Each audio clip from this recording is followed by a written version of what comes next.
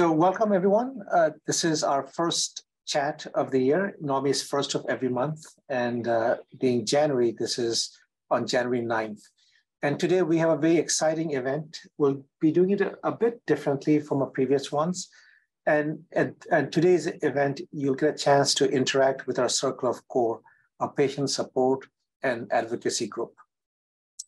And the first person that I would like to introduce is Nanette Zumwalt. You probably saw her picture on, on, the, on the flyer for this event. Nanette has been my long-term patient. She has ADPKD. It's a genetic disease, polycystic kidney disease, and several uh, family members suffer from ADPKD in her family. And she got a living kidney donation from Diana on December 20th and she will kick off our year. uh, we have a lot of exciting things planned for, for the rest of the year, but she'll kick it off and, and go over what we plan to do. So Nanette? Good evening, Dr. Rastogi. I'm so excited to be here with all the core kidney members. Um, I'm one of the newer members to the team. Um, and as Dr. Rastogi said, I'm getting a lot of attention at this point because I am 20 days post-transplant, um, which is pretty exciting and, and quite the holiday miracle.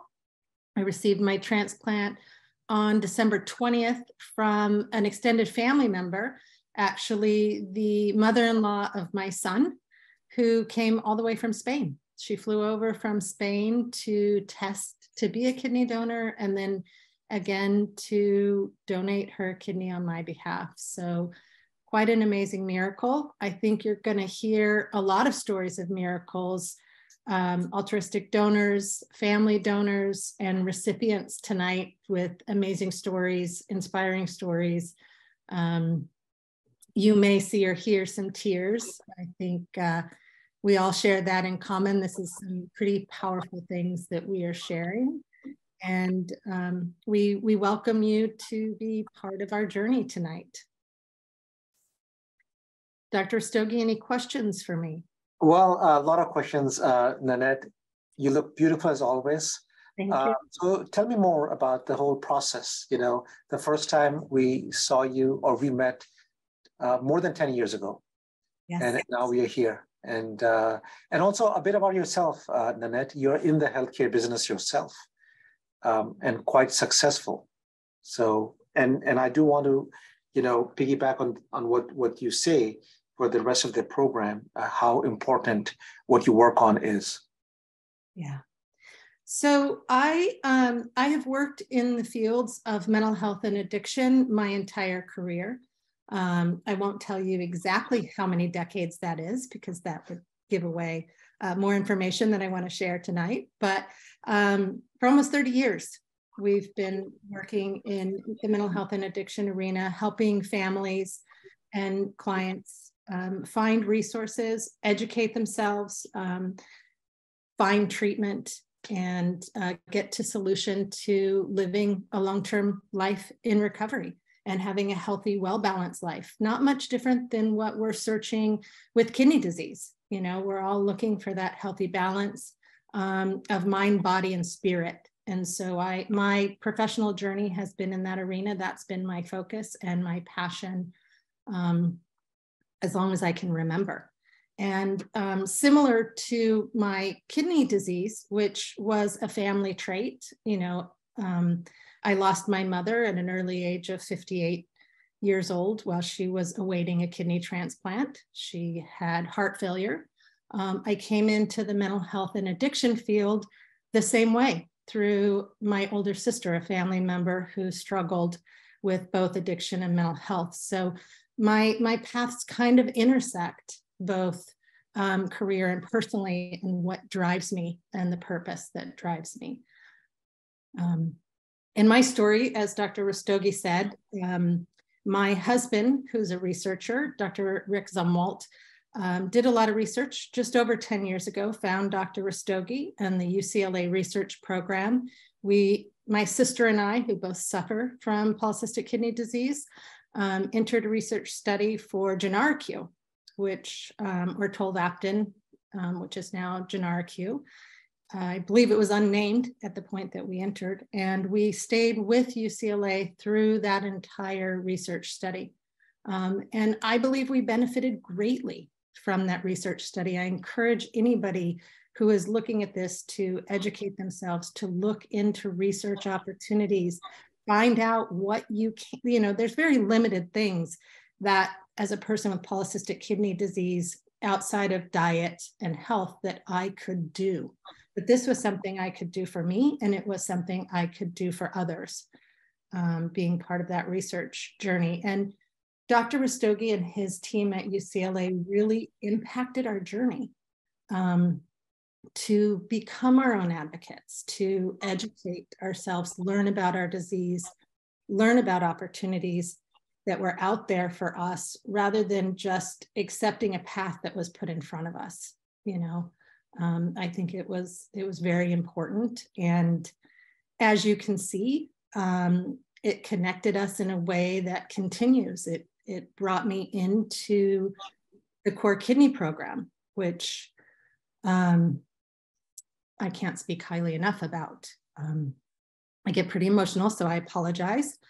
I'm you know 20 days out post transplant and so forgive my forgive my emotional outburst but um, the core kidney program has been so impactful in our journey and i don't know what my family would have done or how we would have successfully navigated um, this journey without the members that you'll hear from tonight.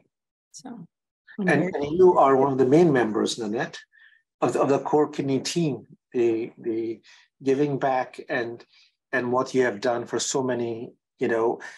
You know i i, I do want to uh, get back on mental health but before that nanette I, I just want to see because you talk about patient advocacy but i also want to talk about your husband rick uh, who has an accomplished career on his own and is a neuropsychologist now um, um, you know what what what do you mean by patient advocacy, and how did that apply to your case, and and and not just you, but how your family advocated for you, Lynette? It's such an important thing. I can't. I mean, I think we could have a whole hour on on advocacy.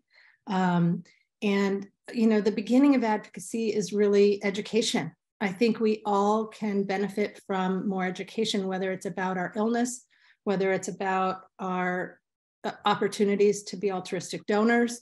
Um, you know, finding that education and understanding not just your disease, but what opportunities are out there for you.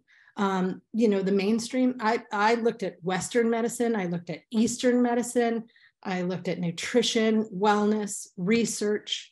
You know, we really um, educated and advocated for ourselves. And then when we when we found the systems that worked we asked questions and we you know as you and both dr Sarkar will share um, we we created a care team or at least initial members of a care team and then those care team members helped build our care team um, and i don't think that would have happened for us if we wouldn't have done that research for ourselves if we wouldn't have found our own voice i mm-hmm. think it's so important um, in in any medical situation or mental health situation to find your voice. And and also I think there are a couple of things you mentioned, Nanette, and that's you know the E in core is education, but you have to educate yourself. You have to learn. You have to learn about your disease state because there is no better advocate than yourself because you know, uh, you know, as much as Rick was there in your family, you know your body the best, the way it reacts to things, the way it responds to things. And getting a team, it's not just Rastogi or or this person, it's a team that that that and I think that's where the was a genesis of core kidney program. Um, and we want to go, you know, you have done a lot, Nanette. Um, you've been working nonstop since your transplant, uh, trying to see and so this is about giving back, and you have been giving back, you know, even before that, but now even more so that no one is left behind. And and we do need everybody's help and support. Whoever is on the uh, uh, um, program today, how we can make a difference to everybody. That that that Nanette actually, you know, she lives in Orange County, and and she drove all the way to UCLA There are a lot of other programs in between and some south of, of where she lives, but uh, her faith and trust in, in UCLA was, was always there. And we are very grateful for that. But Nanette, I, at this point, I would like to invite Marc Coronel, um, our lead ambassador um, for, for UCLA Core Kidney Program. And uh, I would like him to ask you some questions too and share some of his thoughts. Uh, Marc has gone through some personal loss himself, um, and uh, he'll, he'll share about mental health and mental toughness. Uh, thank you, Dr. Rastogi, and uh, welcome everybody to the Core Kidney Programs monthly webinar. Uh, Nanette, I'm so excited that you're here today. It's such an honor. We've been going back and forth with our discussions on um, the kidney transplant journey. Now, one thing I wanted to discuss about was the mental health portion on, and we were discussing this prior, was the fog that you that you acquired through the years of fighting kidney disease. And once you got that kidney transplant, you were you were all blazing ready to go moving forward. How is that experience for you now that you've gotten a kidney transplant? Annette, I think you're muted. Uh, sorry about that. It's pretty amazing. You know, I'm I'm only 20 days in. I'm sure I'm living in a pink cloud right now of this miracle um, that that's been gifted to me. Uh, but I I will yeah. We um, spoke about just the the cognitive um, almost deficit that crept in that I wasn't sure, you know, was it was it age? Was it other things I was going through or the stress of the journey that I was going through? But I just didn't feel as sharp. I didn't feel the ability to um, to really retain information like I used to, or to I wasn't as quick in my responses or my wit. It was just this dulled, dulled cognitive feeling and um, and i noticed it it was impactful to me and that impacted my mental health knowing that i wasn't you know i just wasn't functioning um, physically mentally um, intellectually the way i had been in my life and um, and you know that cognitive stuff is lifting it lifted so quickly um, that it that it made such a difference. It wasn't like it was like a gradual decline, but an immediate, impactful um, change. Amazing. Now I know waking up from a from a kidney transplant and, and advocating like we do as, as patient advocacies, we've we've learned a lot about our journey. And as Dr. Rastogi says, we are the ones who know our health inside and out very well. Um, in the process, what have you learned that we can give and share to other patients who are listening today on how to be a better advocate for themselves going through this process? You know, and and a lot of this came, um, Marc, from you. Um, you know, sharing, being willing to be vulnerable, share your story publicly. I really struggled with that. Um, I was afraid of the impact of my professional career, the impact on my company, I was afraid of, you know, what I don't know what what impact how others would look at me, and um, it it kept me from being vulnerable and sharing my story and my need for a kidney. And when Dr. Rastogi said, you know, this is the time you have to do this, and I was sharing with you my struggle, and you just said point blank, get over yourself. Like this is important you have to share you have to reach out and you know to heck with vulnerability and that hit me hard i was like yeah get over myself like and the minute i be i became vulnerable and the minute i put it out there the responses were amazing um, and and you really you know helped me advocate for myself in that way uh, thank you, Nanette. I, I really, really appreciate that. And it's, it's, it's, you know, it comes down to the foundation of Dr. Rastogi's help. You know, I needed to find my story. Uh, I, I learned that through the process that vulnerability was my most powerful asset coming in through the education educational component of the core kidney program, right? Uh, and, and learning what what my journey looked like and sharing it with other patients like yourself. So I'm so glad you got a kidney transplant this year. I'm three years post kidney transplant. I got it December 10th. So we're 10 days apart, three years of a three years of a mile. Um, but you are on the journey and we're going to be making uh, uh, big noises for this year for the core kidney program. Thank you so much. Thank you. Thank you, Marc. And you know, um, um, what we want to achieve from today's program is how we deal with chronic illnesses, right?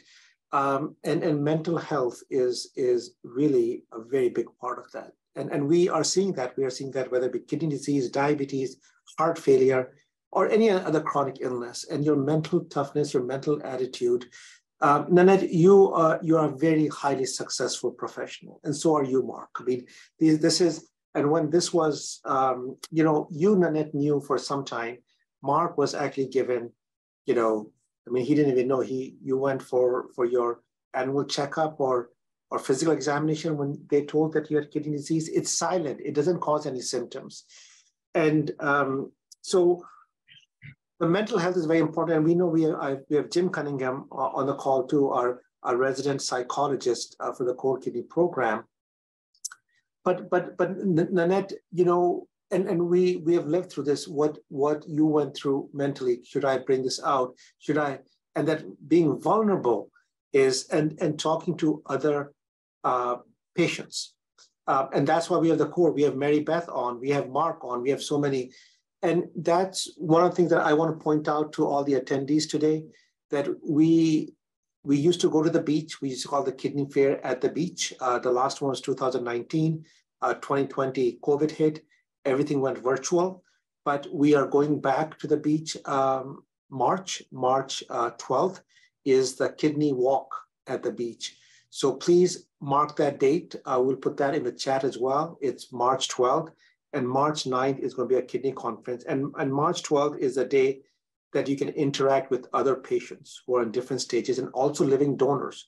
We have several living donors on, on the call today, and they will be sharing their story.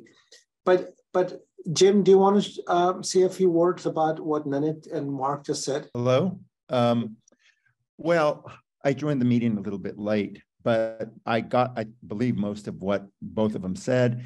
And just kind of piggybacking off of what you just alluded to, um, I think it all comes down, and I don't want to oversimplify it, but it comes down to self care.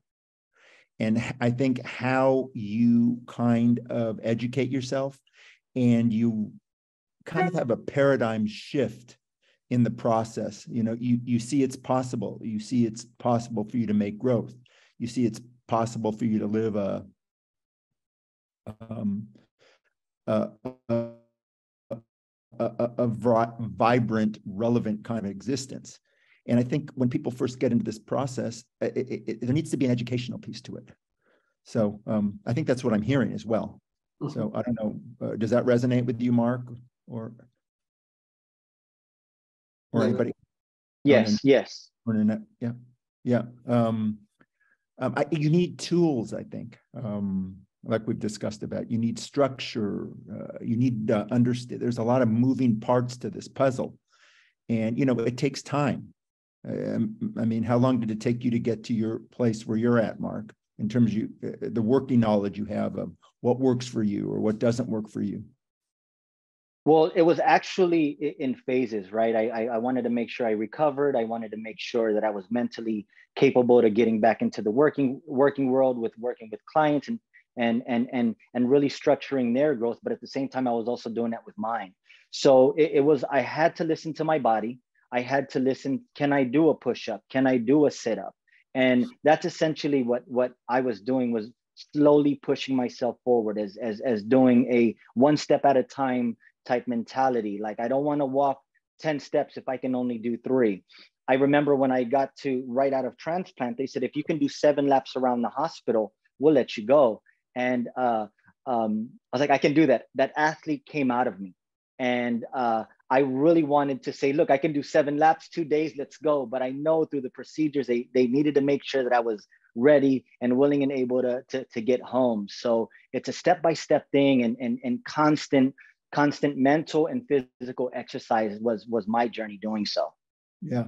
And but I think everybody comes to this, it like just Nanette also alluded to, it's from such a different place. Not everybody was an athlete. And so I think I think there's certain types of skills that are transferable. And I think that's why networking and that's why understanding what worked for other people and you know breaking it down or deconstructing it, taking it into a smaller piece. I think somehow. Nanette, does that resonate with you or it does. It does. You know, we each are going to have our own journey. Um, as I said earlier, my transplant was preemptive. So, you know, I was able to walk two miles a day before I went into transplant in preparation for my body to be a little bit stronger. Um, and not everyone, like Dr. Rastogi said, you know, this came on quickly with Marc. There was no preparation time. So differences and, and evaluating and not comparing to each other, right? But comparing to ourselves. Right, right, right. And I think and, and I think the journey becomes, and that's why it's so profound to share. Because if somebody can just hear something that kind of uh, is similar to what they're going through, mm-hmm. um, they catch fire or they um, it motivates them or it gives them a perspective that they wouldn't otherwise have Right. Absolutely. And, you know, so, so one of the things um, that, and that was why we formed the core kidney is that you need to have a support group. And, and it could be your, your, it could be your family, but sometimes that's not the case. I, I know Nanette, your family, you know, I know all of them and, and the most loving and caring. I know Marc's family, but sometimes some people don't have that. But, but even if they have that, you need to link to other people who have been through this path, who have gone through this, whether it be, you know, kidney disease, whether it be dialysis, whether it be transplant. And I think that's where the support group really comes in, but the right kind of support group. And I think that's why I, I always focus on, because if you talk to the wrong person, uh, they might lead you in the wrong direction. And I think that's very important, whether it be in information on the internet is the people that you speak to, that you, you actually assess them. Does that really make sense what this person is saying? And, and I do want to say um, for our ambassadors that are on today, and we have Brock and, and we have Alex and Nanette and, and, and Mary Beth, and, and, and I, I, I know a lot more. These are all vetted people because they have to go through proper training before they can speak. So surrounding yourself with, with those people would be very important because it's tough with the COVID thing happening. Um, you know, we're coming out of COVID, but still there's lingering effects that we'll have for COVID for a very long time. It's important to get the right support group.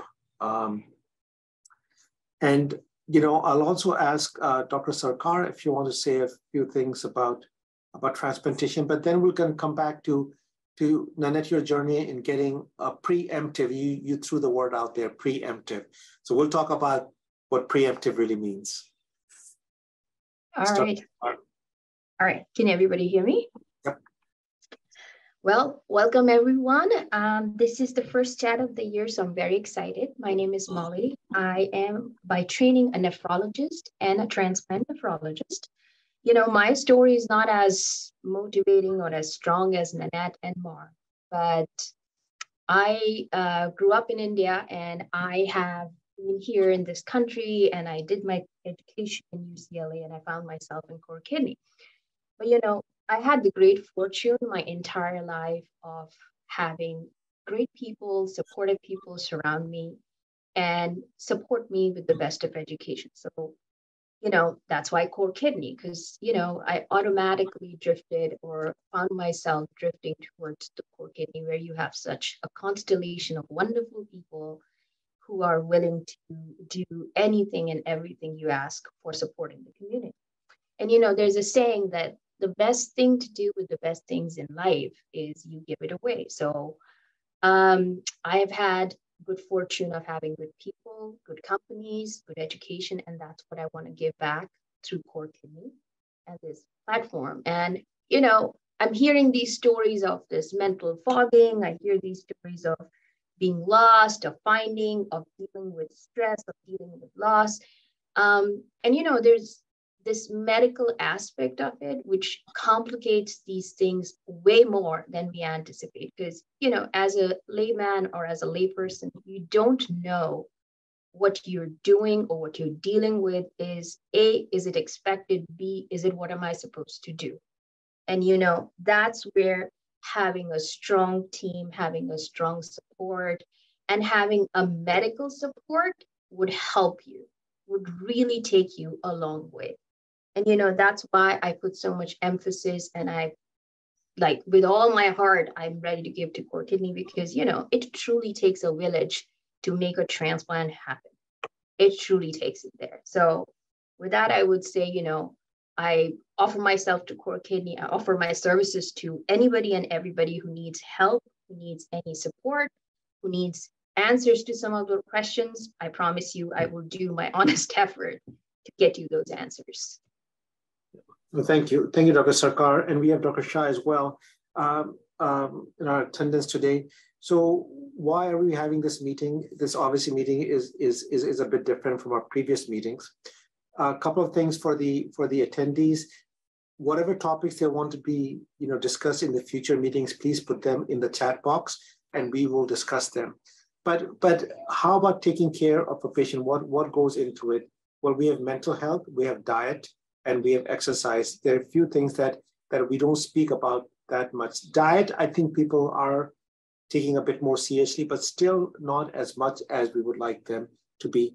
Mental health is definitely something that is not on the radar. We we just don't think about that. That just unless somebody is has some other manifestations um, that will, will prompt you know a referral to to a psychologist or a psychiatrist and and also being a pharmacologist myself, I like to really minimize medications as much as we can. But the medications that you need, you need to take them. That that is a must. They, if your blood pressure is out of control, or your cholesterol is high, or other medications that are coming out to slow down progression.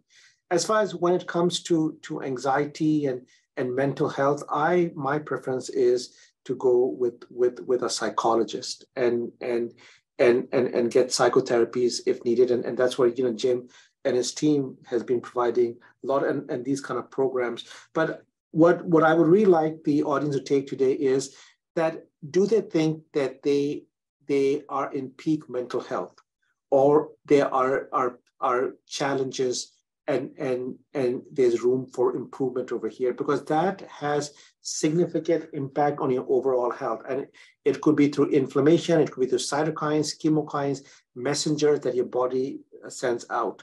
So so having having mental health front and center is very important. And as you probably have seen from our the the other thing that that uh, is is is diet. And and um, you know, and mental health and diet goes together as well. When people are not happy, when people are, and, and Jim, you might want to speak about that as well, is, is when people eat, you know, and, and, and even for eating properly, you need to have discipline. You need to, you know, when people are depressed, when they're anxious, their, their diet does turn, you know, bad.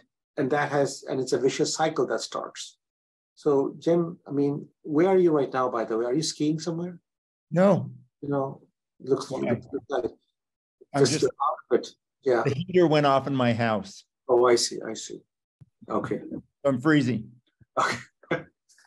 um, well, and you know, just what we, we what we had discussed in terms of, I think that's a real big uh, emphasis when you're talking about food and structure and a lot of times there's no precursory knowledge that people have about nutrition when they're diagnosed with this.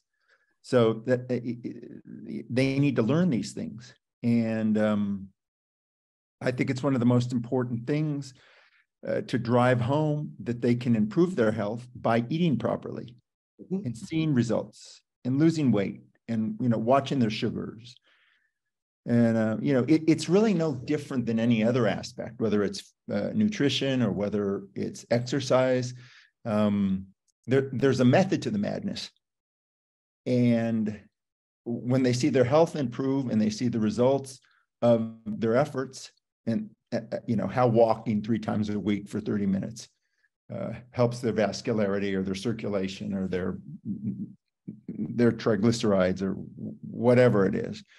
I think it works in that way. Mm-hmm. Yeah, uh, there's a couple of comments that have come in, and one of them is about a GFR of only 20%, and it's taking a toll on her mentally. So we will we will have have somebody reach out, um, um, and uh, uh, we'll we'll take care of that. Maybe somebody can respond uh, uh, to to her directly. Now uh, we have Shima on as well. Shima, um, our our resident dietitian, amazing person. Um, Hi. Had a few things.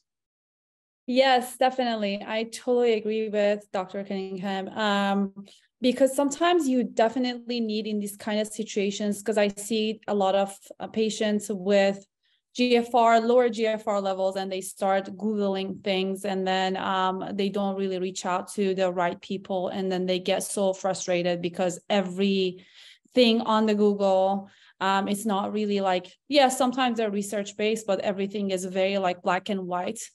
And then people start um, really get overwhelmed with a lot of information. And that's why i think we are all here to support everyone. And then honestly i think this whole process needs to be taken slowly and then i always tell everyone like try to take one small step and see what is more realistic for you because every person is different your gfr might be 20 or somebody else's with a GFR of 12, the needs are going to be so different. Um, and I know a lot of people, I'm just going to give you an example. Um, there are people that they come to me, they're like, oh, I just heard like um, avocados are not good for me. Should I just like stop eating avocados? This is like a very simple example. But that's only not good for you if your potassium is high, if or like there's some sort of different things are going on. So definitely we're always here to just support everyone and then find small goals and start from there because once you get all the information from online or some of the stuff that you want to just do it right away it's going to be so overwhelming. So it's better to start realistic and set realistic goals. Like also dr cunningham just mentioned if you're going to do exercise I always tell everyone just try 30 minutes of walking. You don't need to go to the gym and then try to do like a really crazy different exercises. Just start 30 minutes, 20 minutes, and then every month increase it more like increase another 30, another 10 minutes. That will be easier on your whole level of, you know, lifestyle. Yeah. Now, Shima, I think you you said several very important things. One is uh, baby steps are always good, you know, especially if you're exercising. The second thing is put realistic goals. You know, the new year just started, we have resolutions. So one of the things that I would ask all the audience today is to to make some resolutions. And and and and and it's not just for one week, two weeks, but but things that you can stick by, small changes in, in your diet. And I do want to circle back on about the avocado um, because it's it's really important that that the diet is linked to your labs. The diet is not linked to the fact that you have kidney disease. And I think that's a very, very important point to keep in mind. Um, because you, you can even have with advanced kidney disease, you can have, have low potassium. In that case, you probably would benefit from eating avocados. So that's where I think it's it's it's very important that you speak to a good dietitian. There's one right in front of you. Um, and and what when I say by a good dietitian is, is somebody who actually understands not just that you're getting disease, but your labs and who you are, right? Diet is probably one of the single most, you know, I mean, I, I, I always ask about diet to my patients, and I always ask, like, what did you have for dinner last night? But ask yourself, when is the last time your physician asked you about your diet? Um, and that probably is one of the single most important things that you can do. All the medications aside, if you don't have a proper diet, it's always as bandages. You will progress. So eating a healthy diet, setting realistic expectations. Um, so, you know, and I will say, if you quantity is also very important. You know, it's just not cutting this all this off is probably not the right way. Enjoy your food, but enjoy it in in a in a controlled fashion. So having the right diet, having mental, you know, health, which I think is very important. Mental health impacts everything. In, in, in my opinion, it, it, it's it's impact your quality of life. It impacts your sleep, and and sleep is something else we haven't spoken about. We are going to do one of the chats on sleep because I think that's something else that's quite important. But but all those things are are actually quite significant. Getting the right support group, what other people have shared. So Shima, I think you have done uh, uh, have so many. Uh, Jordan, I think made a video of one of the um, recipes uh, that that you have. I think Jordan, if you can post the um, the newsletter as well, that'll be great um, in the chat box if that's possible. We just did our what we our first newsletter came out thanks to Jordan uh, and her team, and it gives you a very good. Um, please do read that newsletter. Uh, it's all that we do, and with some very very important information. So, anything else? Um, Shima, you want I also wanted to touch base. Another thing that I want to just talk about is the supplement because I get a question all the time, especially for patients with CKD or people that who got the transplant because the diet is going to be so different after you get the transplant and also before transplant, after transplant. Um, and then I know a lot of people always like promote on different things. Like this is one thing that we talked about it before about like supplements and then shiitake mushroom supplements is a thing right now it's going around and then you have to make sure that you speak with your um, doctor with your healthcare provider because those kind of different supplements can interact with your medication so you need to be like very careful with these kind of different recommendations out there that are not sometimes even um, research based so that's yep. going to be like one important thing a very important point. I mean, everything that we speak about at, at, at the core programs is science and evidence based. This is not our personal opinions that we should do this. Um, if there is no data or science to back it up, um, and sometimes the evidence is not strong. Not everything has strong evidence, uh, but we we look at, at does it make any sense? What does the scientific community think about it? What do the experts think about it? And then we give you our, our recommendations. But I think it's really, I mean, these all these fads that come up, supplements you're talking about, um, uh, drug, drug, we, we're, we're working on some, something else as well for supplements, but be careful about, so when a drug comes to the market, um, and we do all those trials, there's phase one, phase two, phase three, there's preclinical trials, there's animal data, that's how, and, and a lot of these drugs never make it to the market. But the herbal supplements don't have those restrictions and they just get in. So be very careful. I get all these questions, you know, what should I take this? What should I take this? I said, I can't answer that. And it's not that they're not effective. They might be effective, but they might also be very dangerous. But sometimes they might not be effective at all. So take that with a load of salt. And if somebody's saying that making that claim that the, these supplements are ask for, for good clinical trials or studies that have been done on that. And, and let's just see what they come up with.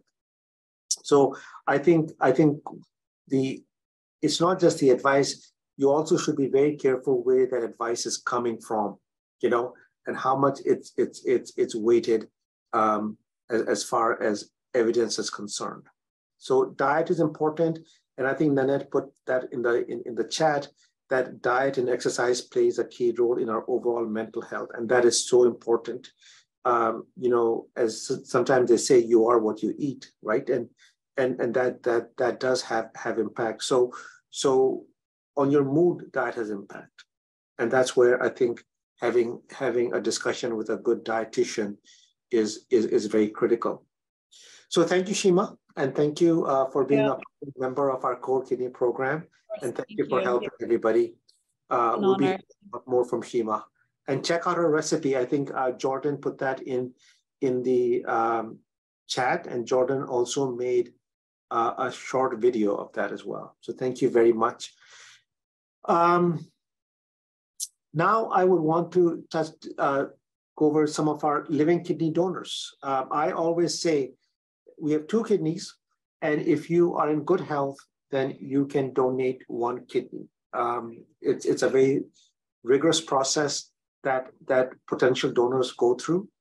And if they are cleared, uh, then that's based on what we know at this time. And you know, obviously in the future things might might change. But we have several kidney donors um, on the call today. I always say it's a priceless gift. When you donate a kidney, our kidney donors are a, a different breed completely. I mean, they they are, are just different class of people, in my opinion. Um, so I will start off with our lead ambassador, Brian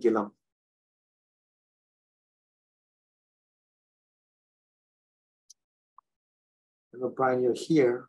So I want to make sure that you're, you're not muted. I, I was muted and off, so following the rules, following the rules. So thank you. Thanks for having me. I'm just so, so happy to be here and, you know, just representing our, our group, the Core Kidney Group as a, as a donor. And um, it's just a special thing that we have. And, you know, you're talking about having an extra kidney to give away, just like Alex has stated, you know, it's, uh, it's just, you don't realize that you can live a healthy life like that. And most people don't realize that. And that's what we're working on now is, you know, we're trying to um, get more information out there about how you can be healthy and live a health, healthy lifestyle with one kidney, which, which is just normal life. So um, I'm just thankful to be here. I'm thankful to be here with Nanette and Marc, two very close people to my heart and what Nanette's been through and what she's spoken about is so important and just, you know, following her journey. It's been just absolutely amazing. It's just showing the great things that we can do as a group together, as our core kidney group has shown. We are strong in numbers, and we're just so thankful that uh, she's been able to complete the process. Yeah. And also, Brian, you you're a kidney donor, but but you have gone one step even beyond that, and you have helped so many people, so many people, right? We are so grateful for all that you have done and keep keep keep giving. So thank you very much. You've made such a big difference, and I know Nanette can speak um, uh, on that as well. But but unconditionally, you have helped so many people, and and and your team of Circle of Core. So we're very grateful. I appreciate that. You know, like like I said at the gala, that there is uh, nothing more important to me than doing this besides my family. So besides my family, this is the most important thing in my life is is working with this and you know just everything would just follow the process of Nanette. You know, you're going to get tears from me too, and Nanette and Rick, and you know, just going through that whole process has been it's it's all worth it. Everything we do, like I always say to Dr. Stogie, it's like if if we do all these things and we help one person, it's all worth it. And you know, here we we've completed a, a journey from beginning to end over all the years, and it's just so meaningful. So, you know, I just this is so important to me, and it humbles me to be involved with the people that we're involved with here, and you and Christina. So, thank you so much, and all the other doctors that are in our group. Brian, you kept our our hope so alive and so strong during this journey. You know, my husband, um, who's a fixer by nature, felt so powerless um, you know, I was doing the things that I felt I could to make a difference, but you were that beacon of light, kind of what I call our Sherpa through this process. Um, you were there every day, checking on us, guiding us, giving us kind words, um, showing up for us. And um, I can't explain how impactful that was and what a game changer that was for me and for my family. You reached out to potential donors who were interested you reached out to family who needed support. And um, it was a game changer. You know what you ambassadors do is is just living angels. I don't know a better term for it. I i, I would agree nanette completely. And and with brian you know so you know he's a kidney donor himself. Um, he he in, you know he has called so many people about um, you know, when there are questions about, about donation. But, but more than that, he is always the kidney disease awareness. And, and so many people have called me and saying that we, we saw somebody wearing the core kidney hat. Who is that? And he said, well, that's Brian. That's Brian Gilliam. And, and just the fact that they are noticing it, it, it, it, it's spreading awareness. I mean, the other thing that I want to mention is, let's think about this for a second. You know, uh, open your TV and and or even internet, you hear about colon cancer, you hear about heart disease, you hear about diabetes, you hear about breast cancer, you hear about Alzheimer's disease. How many times do you hear about kidney disease? Think about that. Notice that in the next two weeks when, when, when you're watching TV and it doesn't come up. We don't get the, the attention that, and, and it's, it's, it's significant contributor towards morbidity, mortality, and cost. The, the second highest cost driver of care at UCLA Health is end-stage kidney disease. So it's, it's definitely a, a problem that we need to tackle at a society level. And that's where I think the core kidney are ambassadors. What makes core kidneys different from the other programs? And we have other programs at bigger, big academic institutions. And I, I always say this, and I'll say that again, it's our circle of core. It's our patient support and advocacy group that really um, defines. We have another kidney donor, um, uh, Mr. Brock Hall. Um, and, and Brock, do you want to say a few, few, few words as well? Sure, be glad to. Can you hear me fine? Oh, yep, we can hear you fine. Perfect. You know, um, I was fortunate enough to get exposed to uh, organ transplant uh, back when I was younger. And then uh, as I got a little older, I got to sit in on a surgery and I saw a bilateral nephrectomy. I was like, wow, and what is this patient going to do next? And yeah, I learned that they needed a kidney. I was a little young at the time, but I was like, oh, well, when I'm old enough, I should definitely do that. If I get the chance, I should be able to give someone a kidney. Um, and lucky enough, it came up for me a few years later. Um, I ran into a neighbor who needed a kidney. They were good. They were um, they had the genetic polycystic kidney disease. I said, okay, well, when you're ready, let me know, and we'll get this taken care of. And it, it just seemed like there's there's a risk. It was very low, reward very high, so why not do it? It just made sense.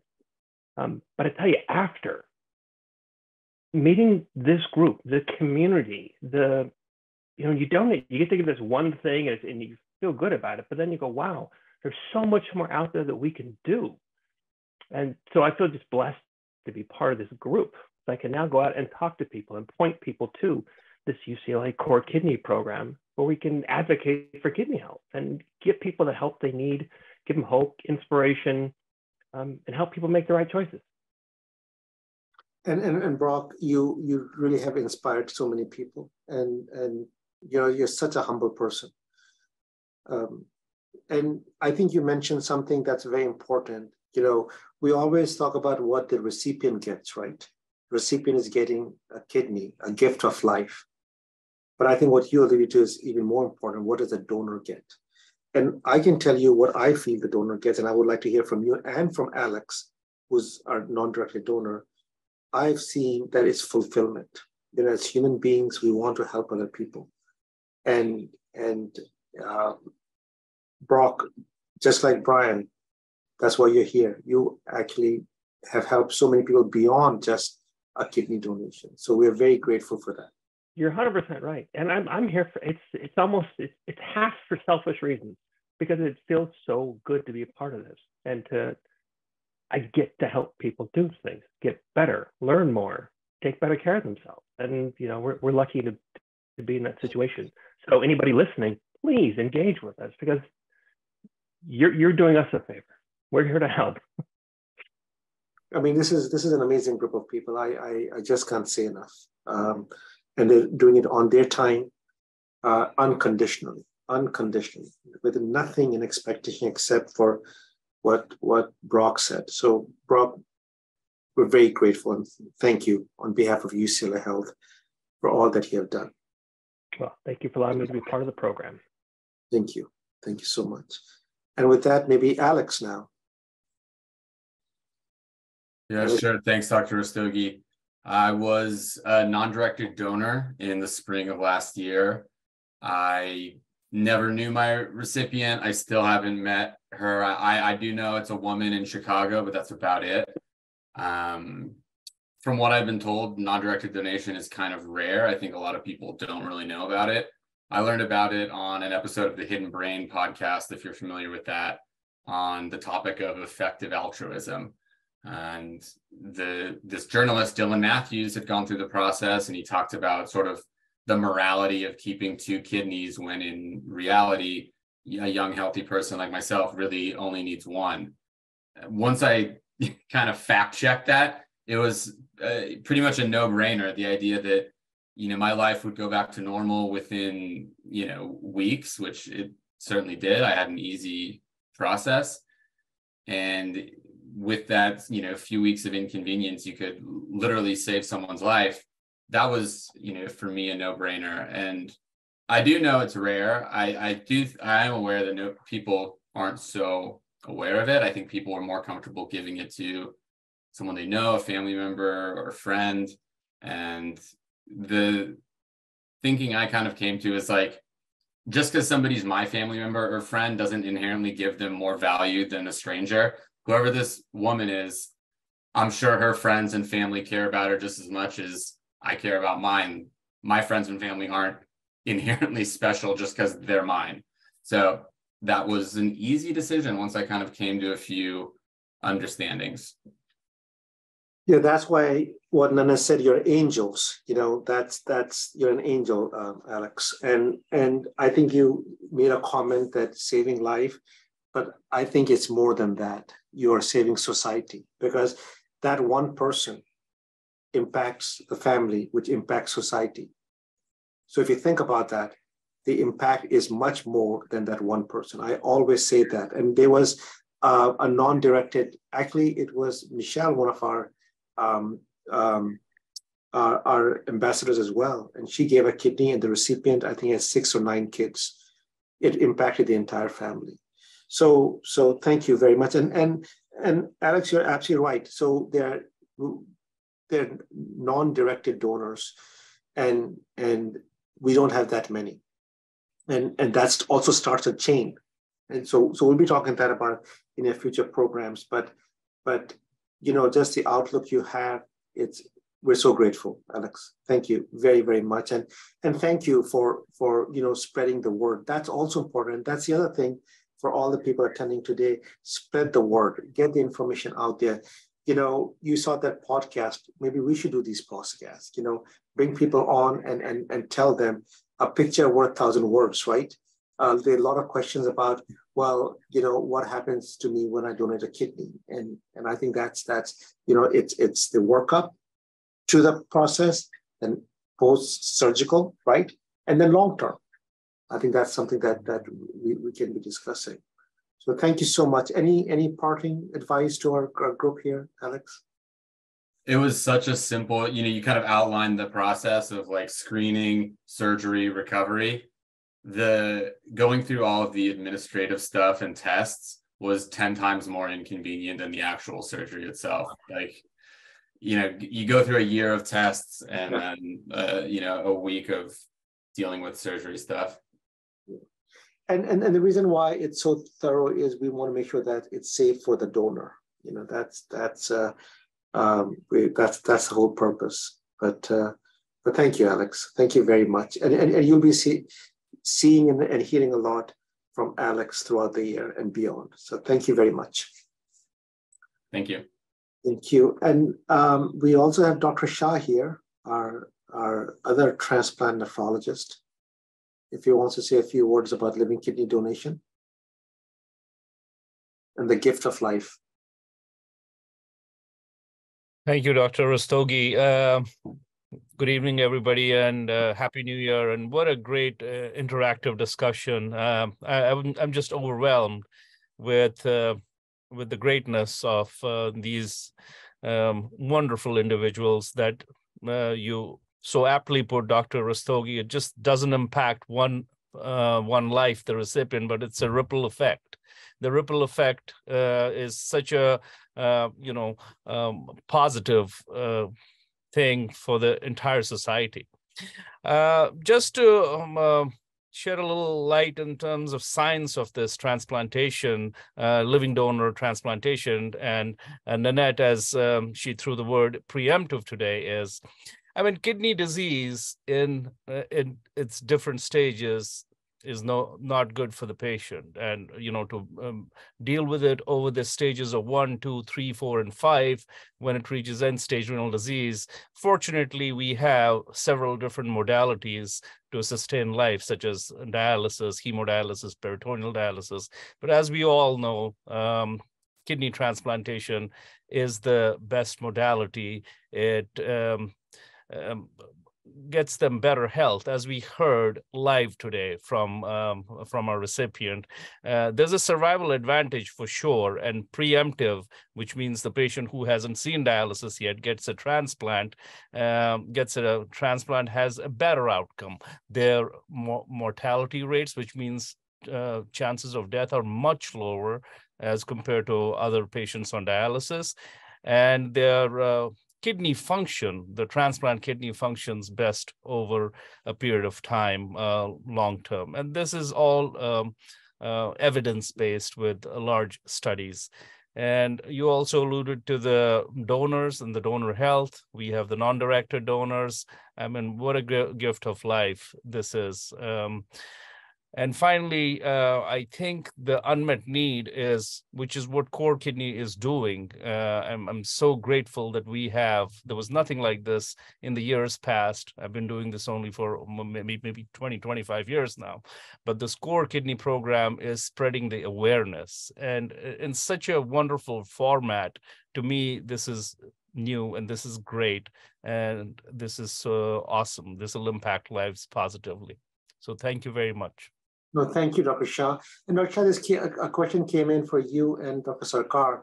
Um, can you say how previous donors are treated if they ever need a kidney themselves?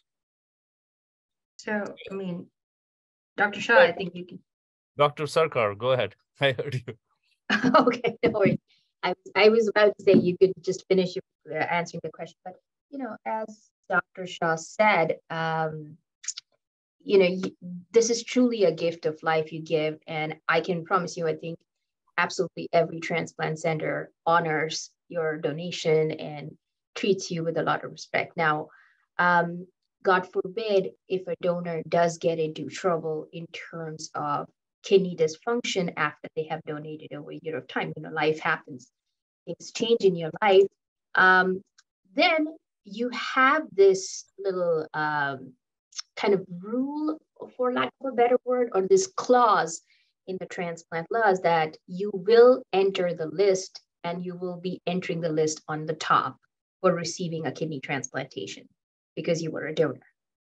So you have this little clause that supports you even farther down in your life, God forbid something was to happen past that donation. Great point. So so uh, just to summarize that question, and, and Dr. Shah, let me know if you need, if you want to add something to that, but that's important. They, first of all, we the, the screening process is very thorough.